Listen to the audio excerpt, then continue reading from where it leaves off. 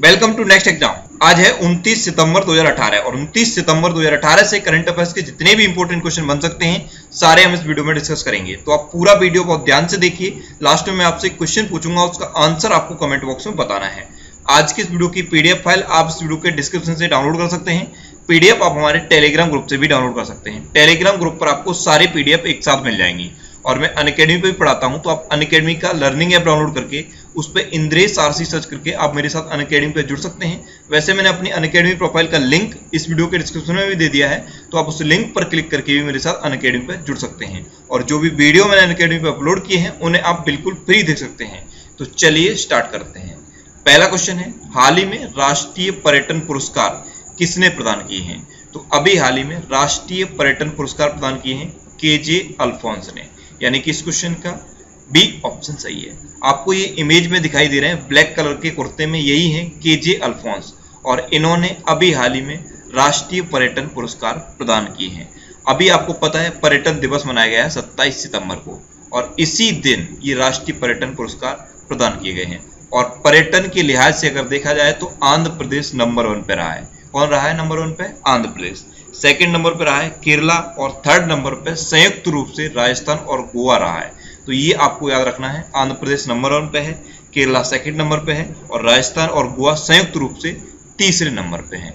तो इस क्वेश्चन से आपको इतनी जानकारी मिल जाती है।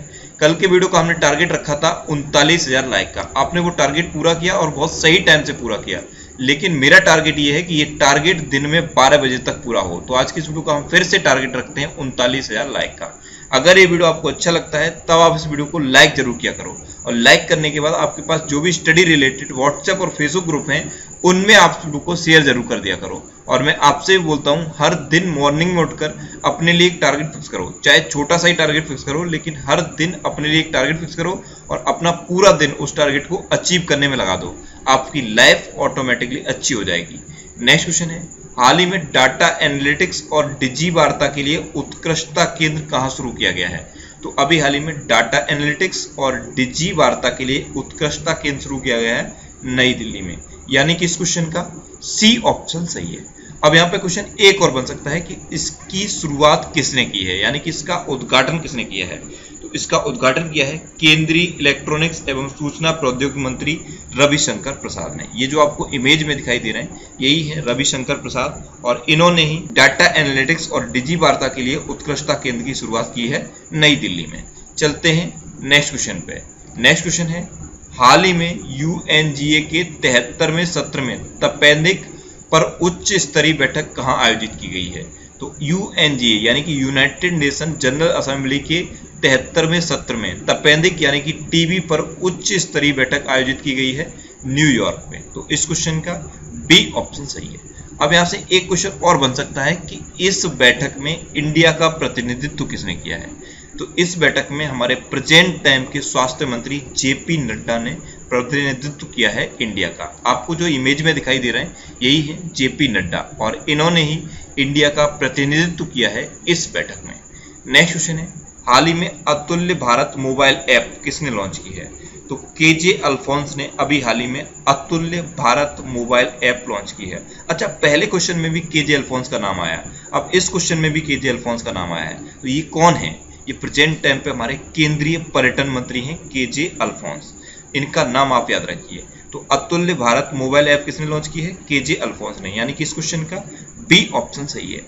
आपको ये जो इमेज में दिखाई दे रहे हैं, यही है के जे अल्फोंस। और ये प्रेजेंट टाइम पे हमारे केंद्रीय पर्यटन मंत्री हैं। अतुल्य भारत यानी कि इनक्रेडिबल इंडिया की ये ऐप लॉन्च कर दी गई है, जिससे कि जितने भी पर्यटक इंडिया में आते हैं, उनको कोई भी प्रॉब्लम ना हो। इस ऐप में एक सबसे अच्छा फीचर ये है कि 24 फोर इंटू सेवन चैटिंग का ऑप्शन है। अगर आपको कोई भी प्रॉब्लम होती है तो आप अपना क्वेश्चन पूछ सकते हो या कोई भी क्वेरी है तो उसे आप पूछ सकते हो इस ऐप पर। तो इनक्रेडिबल इंडिया ऐप लॉन्च की है के जे ने। चलते हैं नेक्स्ट क्वेश्चन पे। नेक्स्ट क्वेश्चन है हाल ही में विश्व रेबीज दिवस कब मनाया गया है? तो अभी हाल ही में 28 सितंबर को विश्व रेबीज दिवस मनाया गया है। यानी कि इस क्वेश्चन का? बी ऑप्शन सही है।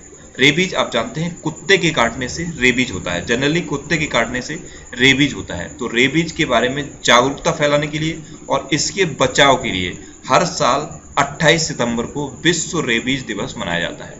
अब इस क्वेश्चन के ऑप्शन में मैंने दो और इंपोर्टेंट डे लिखे हैं। एक तो 27 सितंबर, ये क्या है? पर्यटन दिवस। कल ही मैंने आपको बताया था। एक है 16 सितंबर, ये मोस्ट इंपोर्टेंट है। Ozone day world ozone day विश्व ओजोन परत संरक्षण दिवस भी कहते हैं इसे। तो ये 16 सितंबर को मनाया जाता है। इसके अलावा सितंबर में कौन सा इंपोर्टेंट डे होता है? 8 सितंबर और होता है। वर्ल्ड लिटरेसी डे तो वो भी आपको याद रखना है। तो इस क्वेश्चन से आपको इतनी जानकारी मिलती है। नेक्स्ट क्वेश्चन है, हाल ही में पराक्रम पर्व प्रदर्शनी का उद्घाटन कहाँ किया गया है? तो अभी हाल ही में पराक्रम पर्व प्रदर्शनी का उद्घाटन किया गया है जोधपुर में। तो इस क्वेश्चन का सी ऑप्शन सही है। राजस्थान के जोधपुर में ये पराक्रम पर्व प्रदर्शनी का उद्घाटन किया है हमारे प्रेजेंट टाइम के प्रधानमंत्री नरेंद्र मोदी ने। अच्छा ये पराक्रम पर्व प्रदर्शनी है क्या? तो 2016 में जो सर्जिकल स्ट्राइक हुई थी, उसी के लिए ये पराक्रम पर्व प्रदर्शनी बनाई गई है। जोधपुर में। अब ये जोधपुर में मनाई गई है तो जोधपुर कहाँ पे है? राजस्थान में। राजस्थान में है तो आप मैप में देख लीजिए। ये है राजस्थान। राजस्थान की कैपिटल है जयपुर, और जयपुर को क्या कहा जाता है? Pink city. राजस्थान की प्रेजेंट टाइम पे चीफ मिनिस्टर कौन है? वसुंधरा राजे। और राजस्थान के प्रेजेंट टाइम पे गवर्नर कौन है? कल्याण सिंह। तो इतना आप राजस्थान के बारे में याद रखिए। चलते हैं नेक्स्ट क्वेश्चन पे। नेक्स्ट क्वेश्चन है, हाल ही में आठवां योग खेल चैंपियनशिप कहाँ शुरू हुआ है? तो अभी हाल ही में आठवां योग खेल चैंपियनशिप शुरू हुआ है तिरुवनंतपुरम में। यानी कि इस क्वेश्चन का? सी ऑप्शन सही है। अच्छा ये तिरुवनंतपुरम कहाँ पे है? तो ये केरल की कैपिटल है तिरुवनंतपुरम। और यहीं पे आठवां योग खेल चैंपियनशिप शुरू हुआ है।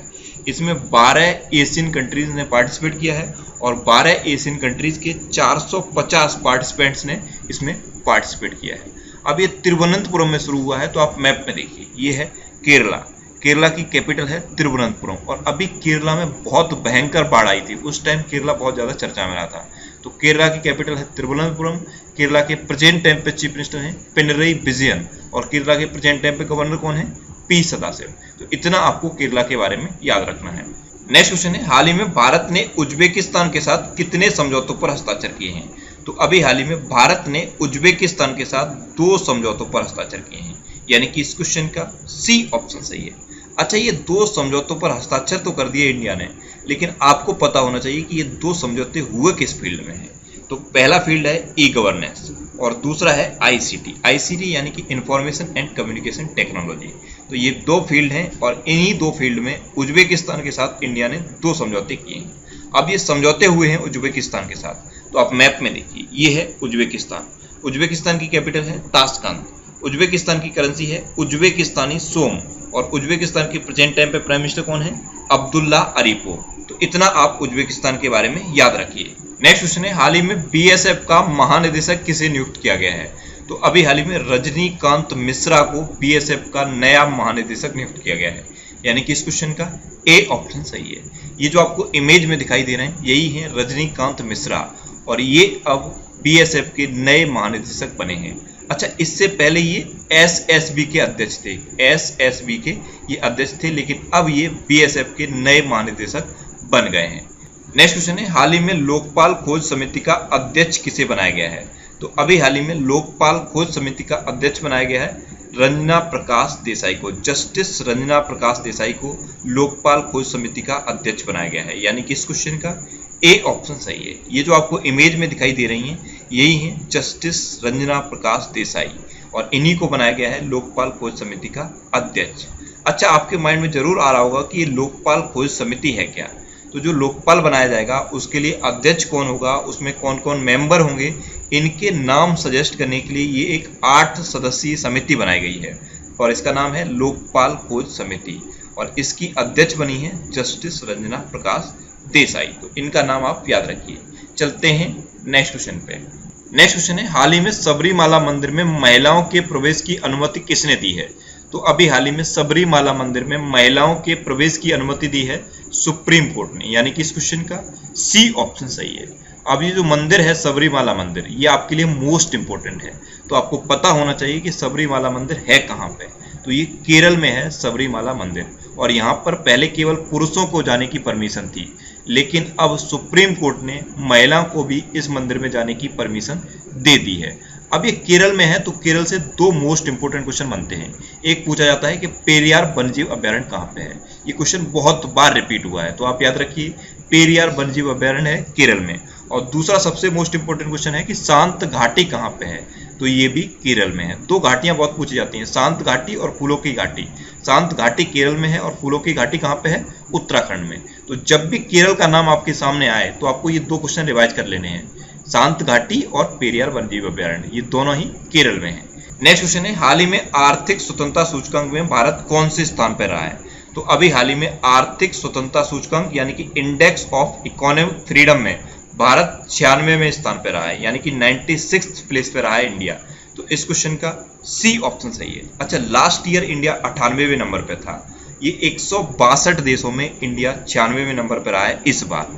अच्छा इंडिया तो छियानवे नंबर पर है तो पहले पे कौन रहा है? ये पता होना चाहिए। पहले पे रहा है हांगकांग और दूसरे पे रहा है सिंगापुर तो ये पहले दूसरे आपको याद रखने हैं, लेकिन इंडिया की पोजीशन मोस्ट इंपोर्टेंट है।